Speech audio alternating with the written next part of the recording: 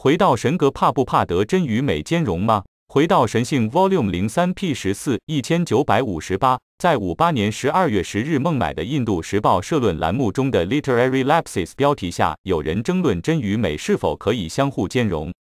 社论说，在批评胡马云卡比尔教授在加尔各答发表的关于文学失误的演讲时，如果说到这一点，人们会心甘情愿地同意表达真相。但既然真相并不总是美丽的，事实上它常常令人吃惊和不愉快。一个人如何同时表达真与美？作为对此的答复，我们可能会通知所有相关人员，真与美是兼容的术语，相当强调地断言，绝对的真理总是美丽的。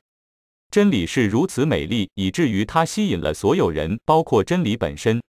真理是如此美丽，以至于许多圣人、圣人和奉献者为了真理而放弃了一切。现代世界的偶像圣雄甘地毕生致力于真理的实验，他的所有活动都只针对真理。为什么圣雄甘地？我们每个人都在追寻真理的冲动，只是因为它不仅美丽，而且充满力量、足智多谋、出名、气绝和知识。不幸的是，人们没有关于实际真相的信息。生活中各行各业的百分之九十九点九的人，只是以真理的名义和追寻真理的名义追随不真实的足迹。我们实际上被真理的美丽所吸引，但我们习惯于以真理的名义从远古时代就爱不真实。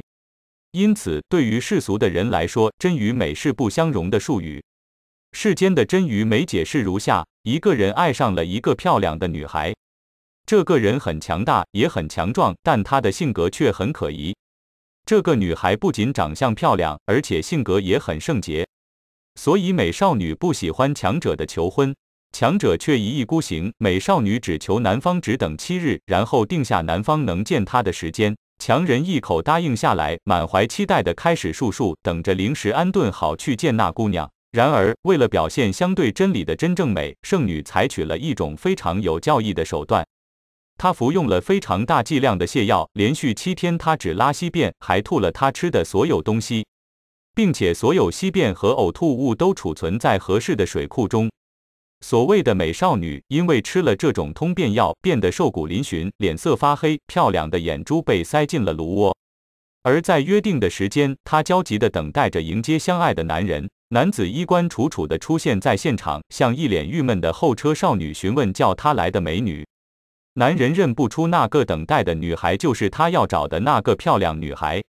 然而，同一个女孩的处境很可怜。愚蠢的男人尽管一再断言，也认不出她。这都是因为药物的作用。最后，女孩把她美丽的所有故事都告诉了有权势的男人，并告诉他，她已经将美丽的成分分离出来，并储存在水库中。他还告诉他，他可以享受储存在水库中的美丽果汁。世俗的诗人或疯子同意看美的枝叶，因此他被引导到散发着难以忍受的难闻气味的稀便和液体呕吐物的商店，从而向他透露了美容液的整个故事。被圣女恩宠的没有个性的男人能够分辨出影子和实体，从而清醒过来。那是我们每个被虚假的物质美所吸引的人的真实立场。上面提到的那个女孩，按照她心中的愿望发展出一个美丽的物质身体，但实际上她是远离这种暂时的物质身心的。她其实是心灵的火花，被女孩的假皮肤吸引的。恋爱中的男人也是如此。然而，Humayun Kabir 教授和《印度时报》的编辑都被相对真理的外在美和吸引力所迷惑，没有意识到同时是真理和美的精神火花。灵性的火花是如此美丽，以至于他离开了所谓美丽的身体，充满了凳子和呕吐物。即使他穿着昂贵的服装，也没有人愿意触摸他。而且，因为我们都追求虚假的相对真理，因此它与真正的美是不相容的。真相是如此永恒美丽，以至于它保持了与千百年来相同的美丽标准。除此之外，这种精神火花是坚不可摧的。外皮的美丽可以在几个小时内被一剂强效泻药破坏，但真理的美丽始终如一，坚不可摧。不幸的是，世俗的编辑和教授们对这种美丽的精神火花，以及这些精神火花的全部火热资源，以及它们与超然消遣的相互关系一无所知。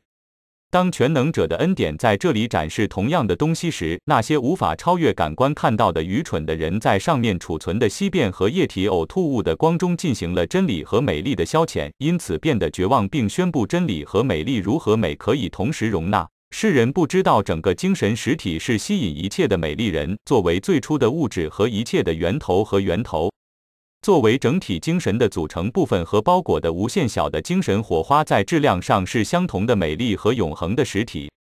区别在于，整体永远是整体，部分永远是部分。它们都是究竟真理、究竟美、究竟知识、究竟能量、究竟出家和究竟富足。到目前为止，文学事务所涉及的任何文学，如果没有描述这种终极真理和美丽，都是粪便和相对真理的液体呕吐物。任何国家的任何世俗诗人或思想家都可以描述它。